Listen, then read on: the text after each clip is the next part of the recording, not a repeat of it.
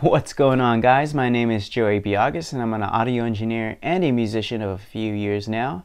And today I'm going to show you how to fix the quality of a song inside of Audacity. So let's get to it.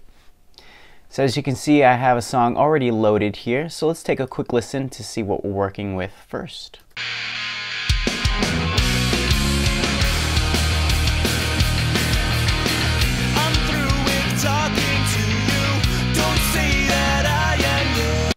Alright, so now you've got the idea.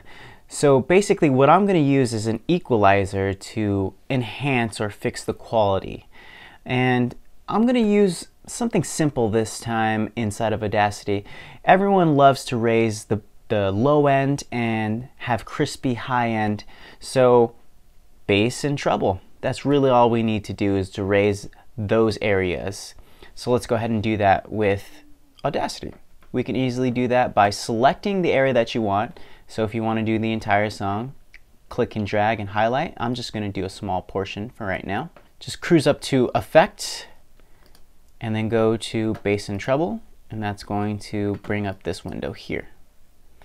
Okay, so like I said, pretty simple, right? So I'm just going to slide it up about, you know, 4 dB each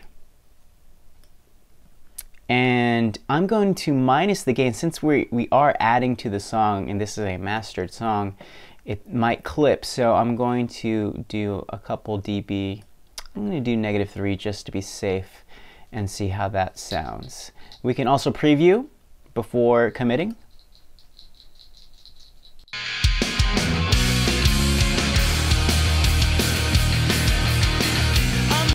Oh yeah, that bass is really kicking now. All right, let's hit OK.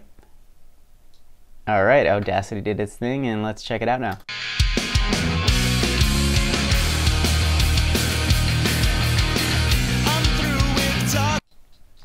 Awesome, perfect. So that's pretty much it in how to fix a quality inside of Audacity. If you do have any other questions, please let us know. Thank you for watching.